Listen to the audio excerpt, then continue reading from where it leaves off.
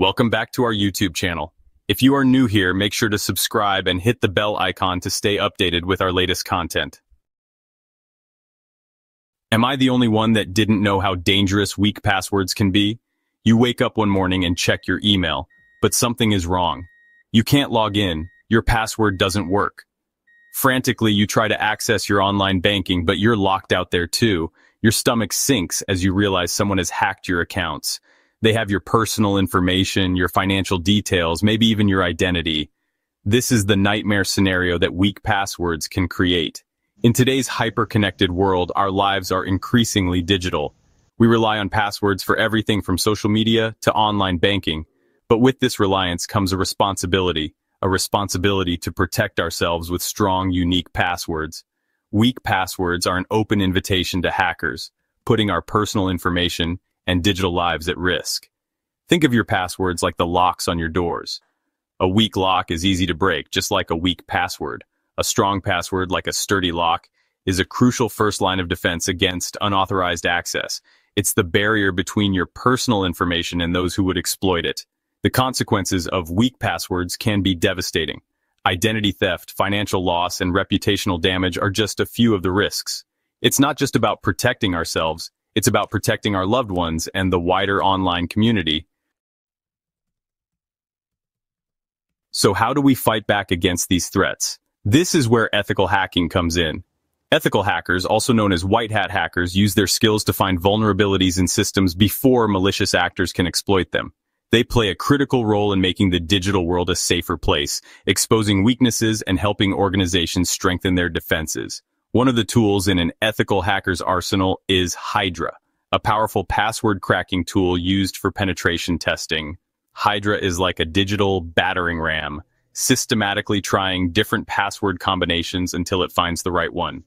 While it can be used for malicious purposes, in the hands of ethical hackers, it becomes a powerful tool for good, identifying weak points and allowing for remediation before any real damage is done. To use Hydra effectively, we need the right environment. This is where Kali Linux comes in. Kali Linux is a Debian-based operating system specifically designed for penetration testing and digital forensics. It's a treasure chest of tools for ethical hackers, with Hydra being one of its most potent weapons. In the next section, we'll walk through setting up your very own ethical hacking environment using Kali Linux. We'll then delve into the intricacies of Hydra, learning how to wield this powerful tool responsibly and effectively. Before we can start cracking passwords, we need a safe and controlled environment to work in. Think of it as our hacking lab, a digital playground where we can experiment and learn. Our lab will be built on Kali Linux, a free and open source operating system for penetration testing. It comes pre-loaded with a vast array of security tools, including Hydra. Set up Kali Linux as a virtual machine or a bootable USB drive. A virtual machine runs Kali Linux within your existing operating system. A bootable USB drive lets you boot directly into Kali Linux. The installation process is straightforward with many online tutorials. With Kali Linux installed, ensure you have the latest version of Hydra. Use the terminal to update all software packages, including Hydra. Congratulations. You now have a fully functional ethical hacking lab. Now that our hacking lab is up and running, let's dive into the heart of the matter, Hydra. At its core, Hydra is a command line tool, which means we interact with it using text-based commands. Don't let this intimidate you. Hydra's syntax is surprisingly straightforward, even for beginners. Let's break down a basic Hydra command to understand how it works. Imagine we want to test the strength of an SSH server's password. The command might look something like this. Let's dissect this command piece by piece. In essence, this command instructs Hydra to launch a brute force attack on the SSH server at the given IP address, using the specified username and trying each password from the word list until it finds the right one. It's important to note that this is just a basic example. Hydra is incredibly versatile and offers a wide range of options and parameters to fine-tune your attacks. Section 5. Unleashing Advanced Hydra Techniques. As you become more comfortable with Hydra's basic syntax, you can start exploring its more advanced features. These features allow you to target different services, customize your attacks, and increase your chances of success.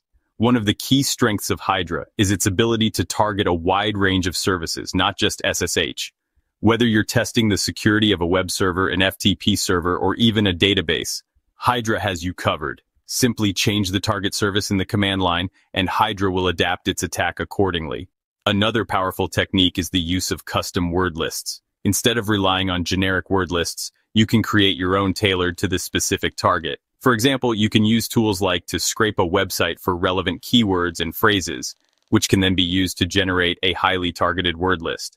Hydra also allows you to fine-tune your attacks by specifying the number of concurrent connections, using different brute force techniques, and even evading intrusion detection systems. These advanced techniques can significantly increase your chances of success, especially when targeting more secure systems.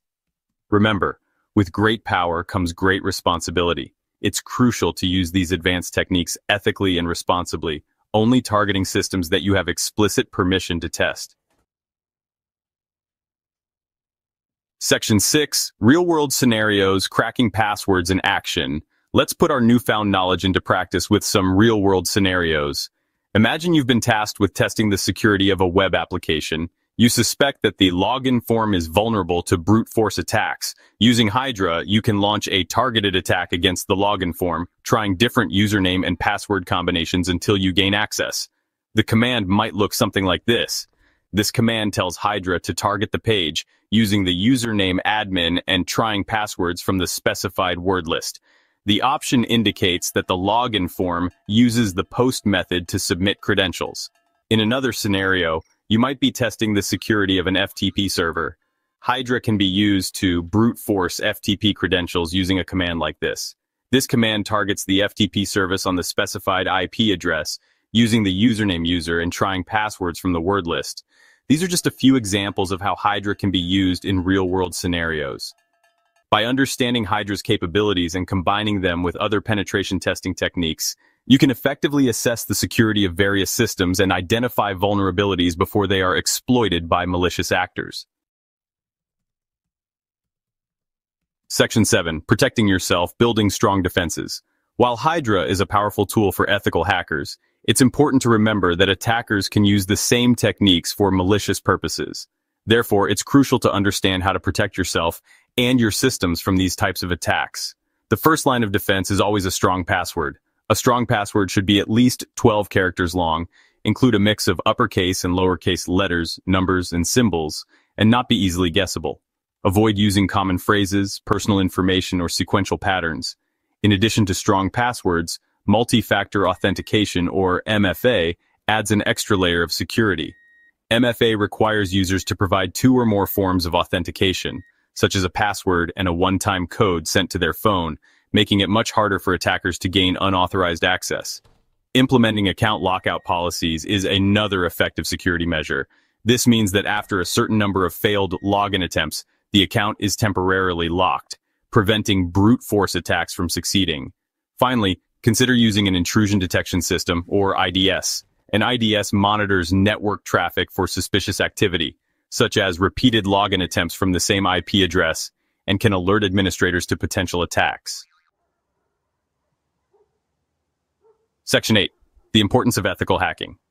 As we've seen, Hydra is a powerful tool that can be used for both good and bad purposes. In the hands of ethical hackers, it's an invaluable tool for identifying and fixing security vulnerabilities. However, it's crucial to remember that using Hydra or any other hacking tool against systems without proper authorization is illegal and unethical. Ethical hackers play a vital role in making the digital world a safer place. By simulating real-world attacks, they help organizations identify and fix weaknesses in their systems before they can be exploited by malicious actors. They are the guardians of the digital realm, working tirelessly to stay one step ahead of the bad guys. If you're interested in pursuing a career in ethical hacking, there are many resources available to help you get started. There are online courses, certifications, and even degree programs dedicated to this rapidly growing field. By honing your skills and using your knowledge for good, you can make a real difference in protecting our digital world. Section 9. Conclusion. Your journey into cybersecurity. Congratulations on completing this crash course on cracking passwords with Hydra in Kali Linux. You've learned the basics of ethical hacking, set up your own hacking lab, mastered the art of password cracking, and explored advanced Hydra techniques. But this is just the beginning of your journey into the fascinating world of cybersecurity. The field of cybersecurity is constantly evolving, with new threats emerging all the time. It's a never-ending game of cat and mouse between security professionals and malicious actors. By staying up to date on the latest threats, vulnerabilities, and mitigation techniques, you can ensure that you're always one step ahead. Remember, knowledge is power. The more you learn about cybersecurity, the better equipped you'll be to protect yourself, your organization, and the wider online community. So keep learning, keep experimenting, and keep pushing the boundaries of what's possible in the ever-evolving world of cybersecurity.